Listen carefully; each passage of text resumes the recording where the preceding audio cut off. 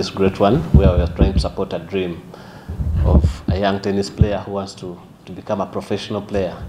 So uh, as THX Foundation, we look towards having people attain their dreams and become what they really want to be. So I'd like to thank THX 22 uh, Foundation um, for accepting to partner with Collin on his journey, specifically in tennis, but I think more, more importantly, giving him the opportunity to combine both his education and his, his tennis.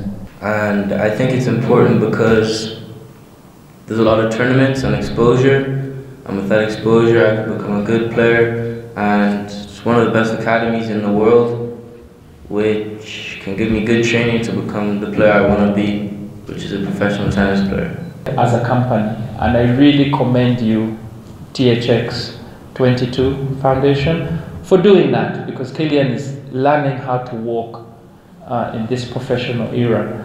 Uh, and you're there with him, and I know you will be there with him in the future as well. So, The foundation, uh, we also give back to the communities uh, uh, through the different branches that we have in Africa. We've been helping different mothers, like we saw recently in Kenya, the, the victims of the floods. We went out and reached out to help the affected communities, and we're doing the same across Africa. We have several branches